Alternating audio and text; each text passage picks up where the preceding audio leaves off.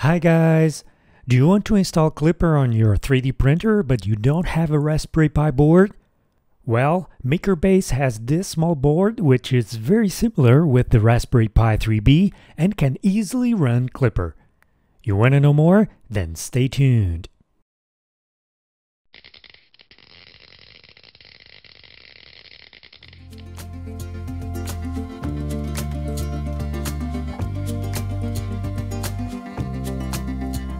Hi guys, welcome back. My name is Rui and this is the Rui Raptor YouTube channel. If you want to help us out, you can by giving this video a like and subscribe the channel. You can also help by joining our Patreon page or by clicking on any of the affiliate links posted below in the video description. So, from a certain point in time, we have seen an increase of users wanting to use Klipper firmware on their 3D printers. In most cases, to use Klipper firmware, you need to install it on an external board such as a Raspberry Pi microcomputer, since it's more powerful than the printer's main board. This way, the computing power of the Raspberry Pi board will handle all the hard work with the calculations and such, while the printer's main board will just be the interface between Klipper and the printer's components. This has been a great solution so far, However, lately it has been very hard to find and buy Raspberry Pi boards due to stock shortage. Some 3D printer board manufacturers are aware of this and released to the market their own solution for Klipper. MakerBase is one of them, with the MKS Pi board. This board is equipped with a powerful 4-core 64-bit chip and a 1GB DDR3 memory.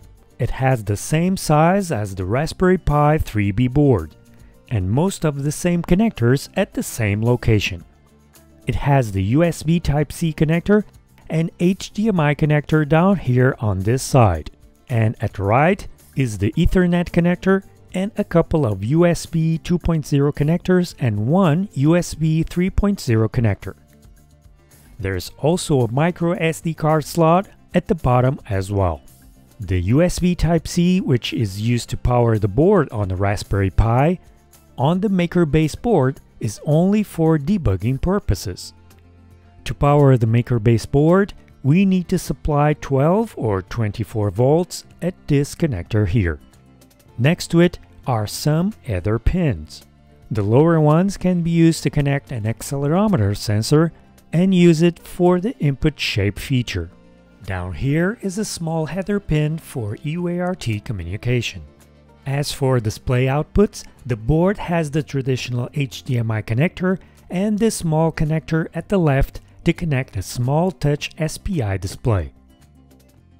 MakerBase also has this display available when ordering the board.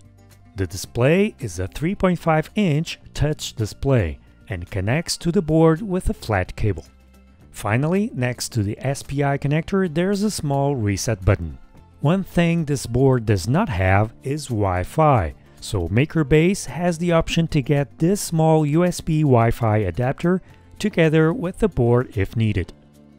They also have this small heatsink as option to cool down the main chip, which we strongly recommend to install. To connect the board and install Klipper is very simple. First, we need to connect the USB cable from the board to the printer and the Wi-Fi adapter if you have one. To connect the display, first connect the flat cable at the back of the display. Carefully open the connector lock, insert the flat cable with the exposed pins facing down, and close the lock. On the board side, carefully lift the small connector lock Insert the flat cable with the exposed pins facing the edge of the board, and then lower the lock.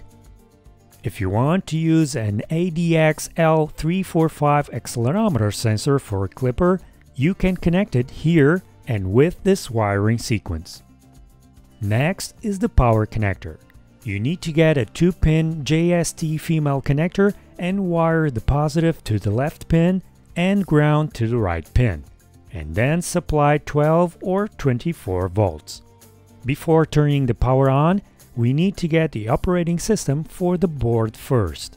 MakerBase has an almost ready to run Klipper image based on the Armbian desktop system and that already supports KlipperScreen for their board.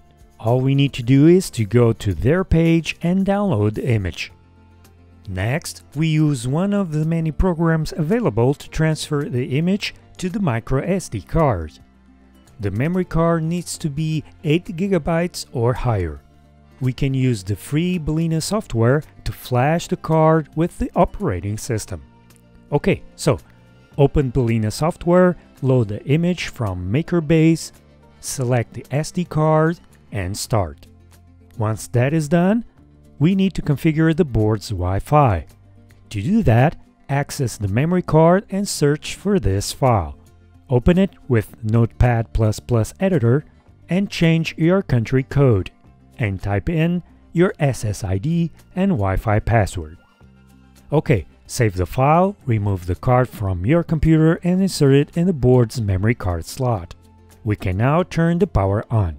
And a few seconds later, the display should light up with a screen similar to this.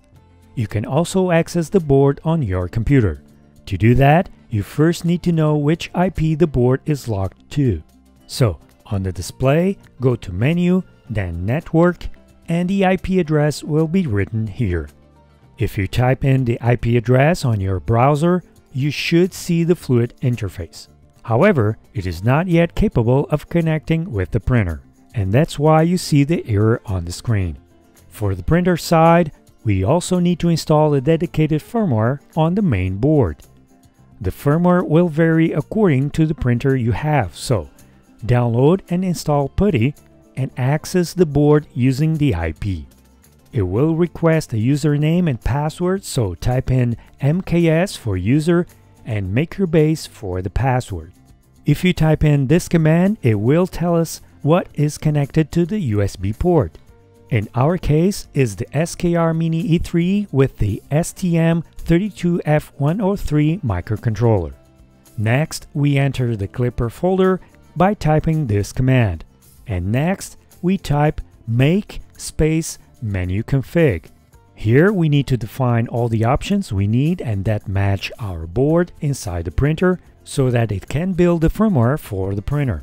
As we mentioned, this will vary according to the board you have on your printer. At the end, save the file. The firmware is not built yet, so we need to type make and enter, and now it will start building it. The firmware will be named klipper.bin if you have a 32-bit board, or klipper.hex if you have an 8-bit board. The last line will show you where the firmware file is located. Also depending on the main board, you can flash the firmware on your main board from here, or copy this file to a memory card and flash the printer from the memory card. To copy the file from the MKS Pi board, you need to use WinSCP software. Create a new session using the MKS board's IP and the same username and password. Next, enter the Klipper folder then out, and transfer the file to your memory card. Don't forget to rename the file to firmware.bin before removing the memory card. Insert the memory card in your printer's card slot and turn the printer on. The printer's screen will become blank and will stay blank. Don't worry, it's normal. There is one more thing we need to set up, which is the printer configuration file. Most Klipper settings are obtained by a printer configuration file. They're stored on the memory card of the MKS Pi board. These settings are also different according to the printer and main board you have. There's a page with many config file examples you can use to start with. The printer config file needs to be placed inside the Klipper config folder. This is what a printer config file looks like. If you want to add the accelerometer sensor, add these lines at the bottom. Okay, we are almost there. We still need to tell Klipper which is the USB ID it needs to use to communicate with the printer's main board. So, start PuTTY again, enter the user and password again, and then enter the command we have shown a few minutes back. Copy the entire line and paste it in the printer config file, replacing the original line that was already there. OK, done. Save the file and copy it to the MKS Pi board inside the Klipper config folder. If there's already a file there, replace that one with the new one. Restart the MKS board and now you should be able to start Klipper and control the printer from the computer browser. The operating system image is already equipped with the necessary streamers and has the USB camera feature enabled. So if you want to connect an external USB camera, you can plug it in on one of the USB ports. The image is also equipped with the necessary accelerometer calculation library, which means you only need to configure the sensor and test it. And that's it you guys. Hope this video was useful. We will see you guys next time. Bye!